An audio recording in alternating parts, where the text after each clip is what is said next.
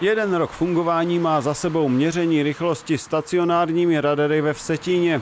Město investovalo do systému postupně. Po prvním radaru na obchvatu Vsetína se začalo s měřením na výpadovce na Zlín. Třetím a zatím posledním místem, kde se může měřit rychlost, je komunikace u základní školy na Trávníkách. V souvislosti s překročením nejvyšší povolené rychlosti bylo za dobu fungování radaru, což je od 1. 1. 2018, do konce února letošního roku zaznamenáno celkem 28 tisíc přestupků.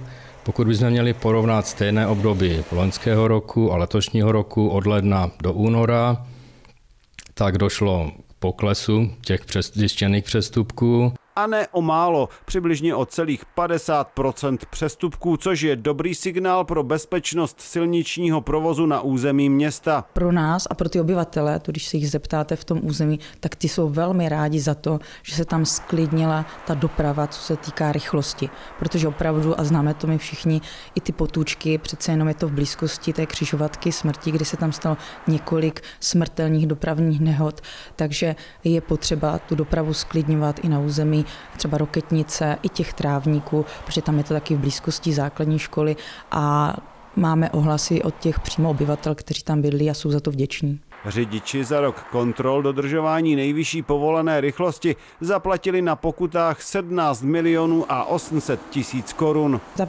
platební schopnost a disciplína řidičů je, ehm, máme tady vlastně i mnohem, asi zhruba 20% jsou to řidiči i z cizích zemí. Platební schopnost eh, Čechů je pak až 93%, ostatní pak jdou do toho správního řízení.